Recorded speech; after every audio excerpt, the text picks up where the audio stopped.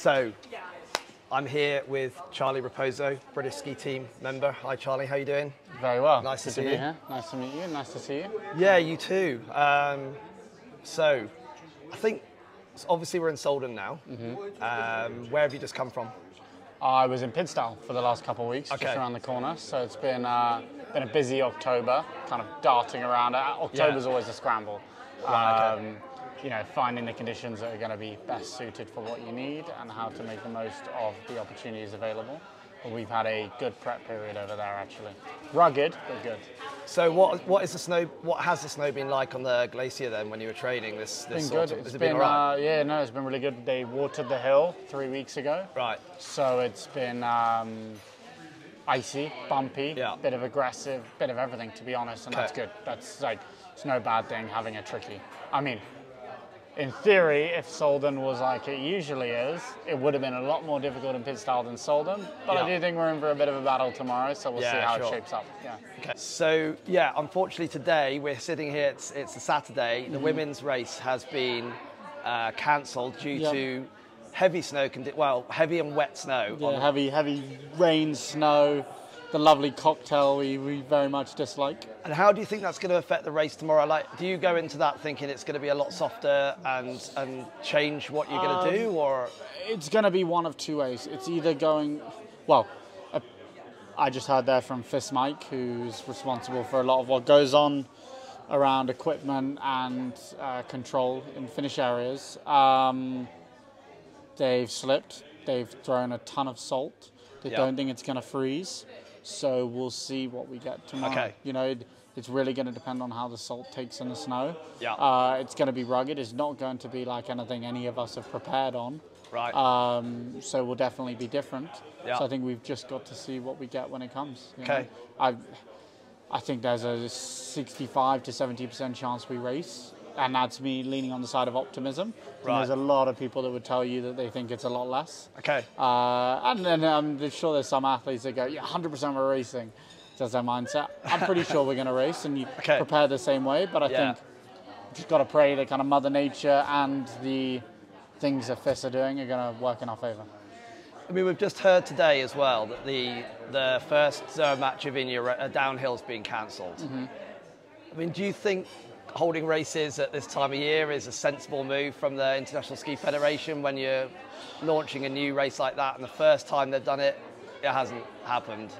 We'll, we'll see what happens the weekend after. I think, uh, tricky one to answer. Sölden's never really been an issue. No, no, sure. So, from Yeah. my opinion, I think that Sölden should fly. Yeah. and or normally always does. Yeah. You know, even this year when they had so many issues with the amount of snow on the glacier, Yeah. they were able to deliver. Yeah. Um, I think Zermatt Cervinia, I, I've never been there, so I don't understand. But Okay. I know that obviously last year was a really bad winter snow year. Yeah, sure. And that made a massive impact on how the glaciers were this summer. And a hot summer. And I'm sure that that played a role in why that slope is not ready. Yeah. I don't know. I, from what I've heard, it's the, what I've heard is the bottom of the slope, which I don't know if that's glacier or not. no. So I don't know. It's not glacier. I don't think so. So in that case, yeah, it does come down to the warm temps and what they can blow in October. Yeah. You know, here it works because they are blowing on top of ice. Yeah, So they do have a glacier here. Whereas clearly Zermatt Cervinia, they're relying on a bottom half of the slope that is not glacier. Yeah. And that is probably going to be a problem, yes. Um, I think we've got to look at it from the perspective of like, why does the season need to end in in March, for example? Okay. Right, you know, we've got high altitude resorts where in theory we could be pushing longer, Yeah. but we're scrambling to get stuff in earlier Right. when all that's doing is making it more difficult for the teams to prepare Okay. in theory, like the speed guys have now been massively pushed to get ready for now. Normally, they get that whole Colorado Nakiska period, Yeah. whereas now it's like, okay, you got to be ready end of October. Right. Um, that would be my one observation, and I think you know when when people say where are we going to be in 10 years with global warming and snow, low altitude resorts will suffer. High altitude resorts are going to be totally fine. Yeah, sure. The snow isn't going to go away, but it's No. uh, it's going to change the landscape as to which and where we can have races. So just going backwards now a little bit, where we're quite a long way, I guess. Where did you start skiing? Started skiing in Verbier, Switzerland. So that's where you learned to ski. Yeah, that's where I learned to ski. Okay. Started there at seven, and then Right.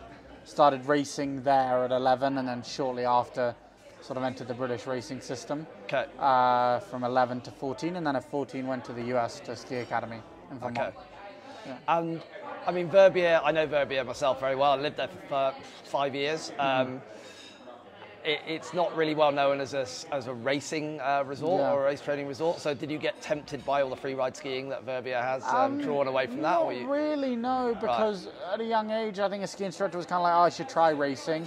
There was some options. Yeah, you're right. It comes from free ride heritage, but Yeah. that that will be changing. Um, they've got Swiss national champs there this year, Okay. which is a big Right. deal. Oh, so right, they've okay. got downhill Super G's GS slalom, yeah. and I don't think it will be long before they are having, well, juniors, European Cups, Women's World Cups, Men's World Cups, World Champs. Oh, interesting. I think I think they will pursue that.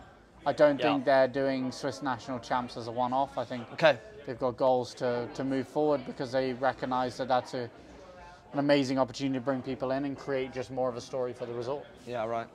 And how are the new skis? It's going good. It's going very good. It's um, it's a hell of an opportunity and an honour to be in that position. Yeah. Um, and I'm excited to to start this journey with these guys. You know, first race tomorrow, but many Yeah. seasons ahead. Yeah. uh, and really, you know, help have these guys help me to make that next step in my career. You know, which is uh, it's clear that there's potential to do that. We saw that last year, and now it's about executing on that and making those next steps.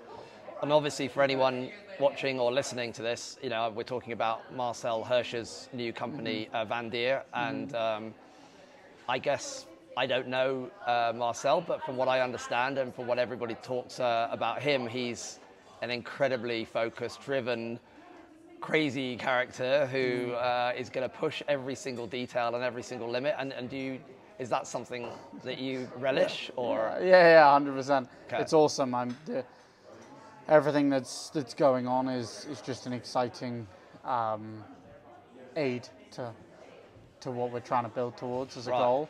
Yeah. Um, you know, these guys embody skiing and ski racing in the same way that I do, with like pure passion, pure drive for it. Mm. Um, and I think that's so it's a, it's a great match for that sense, and it's a it's a new brand trying to transcend the sport, do things differently, step outside the box, be different. Um, That's something that I, I love and I want to be a part of, and I want to be doing myself yeah? as Charlie. Okay. And is that financially helping you as well? Yes. Okay.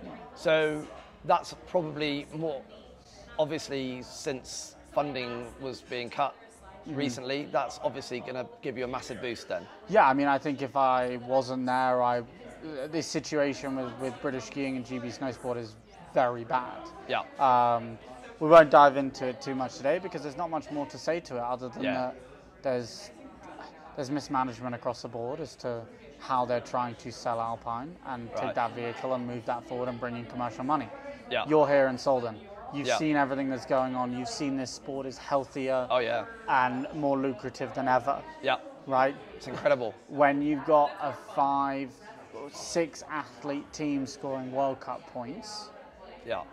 at the level that they are in Great Britain, and you see the excitement around British ski racing when you're at events, yeah, you can make some money out of it. So that's all I'll say on the matter. Yeah. I'm super lucky and fortunate to be at Van Deer Red Bull Sports, where I have a serviceman from the company. Right, Uh, I have a load of other resources that come my way.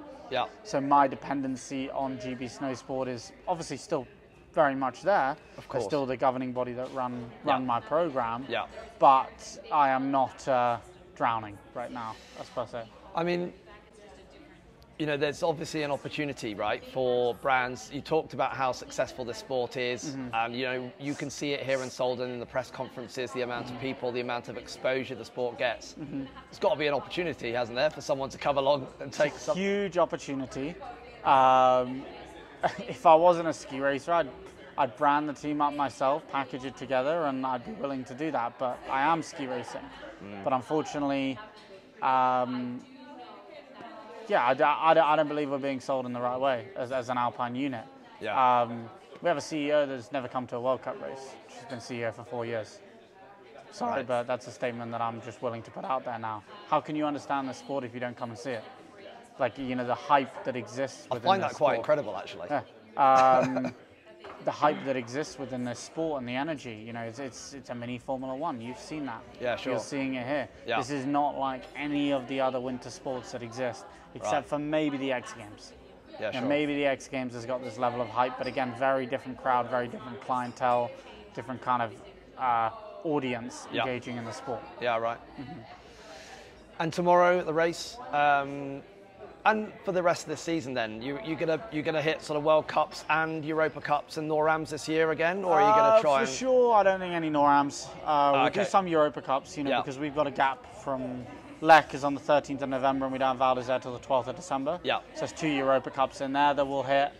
Uh, we'll see see where we see where we're at. Yeah. Definitely. Look, there's there's so little GS racing that it's nice to do the European Cups as well. Yeah, of course. Um, but we'll just pick and choose the program accordingly because the travel, the race days, it is very taxing. Yeah. And we do want to prioritise what we're doing at a World Cup level. okay. Well, good luck for um, good luck for tomorrow Thank in the race. Very kind, thank you. Uh, top 30 is your goal. of course, Okay. of course, getting in there is the goal. Yeah. You know, I mean, look, I think more importantly than, than just top 30, I think the goal is to execute some seriously strong skiing. Yeah. Where that stacks me up, TBD. You know, the the, the higher the better. Um, Yeah.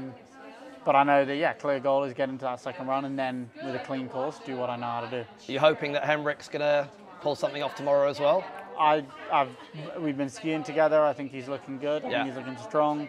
I hope he uh, delivers on, on what he wants. I mean, we all know he's got a high, high benchmark for what he wants out of himself. Yeah, sure. Um, so we'll see how that shapes up for him.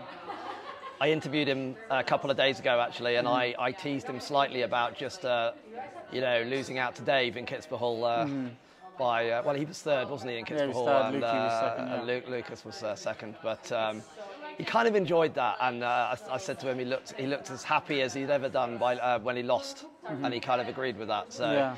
I mean, having a team, is he? Would you consider him a teammate, kind of? Yeah, I mean, yeah.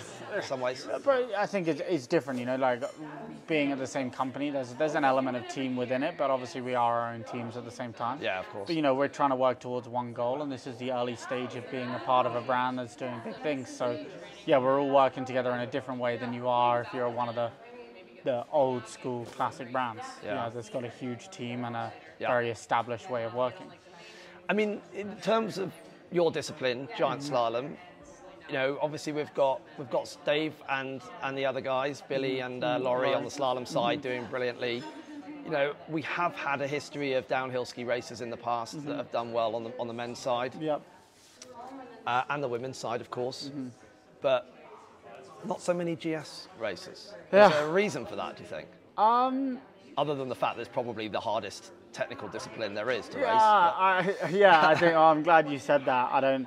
I don't necessarily want to be the one that said it. I, I'm not going to say it's the most competitive because I don't. I think slalom. Like, I think they're all very competitive, but I think it's incredibly grueling on the body and taxing. It's a very Yeah. natural flow of ski racing. yeah. Um, there is a there is a natural flow to GS that I think is. Yeah, you can have good slalom skiers and, and a slalom race with zero flow in a course.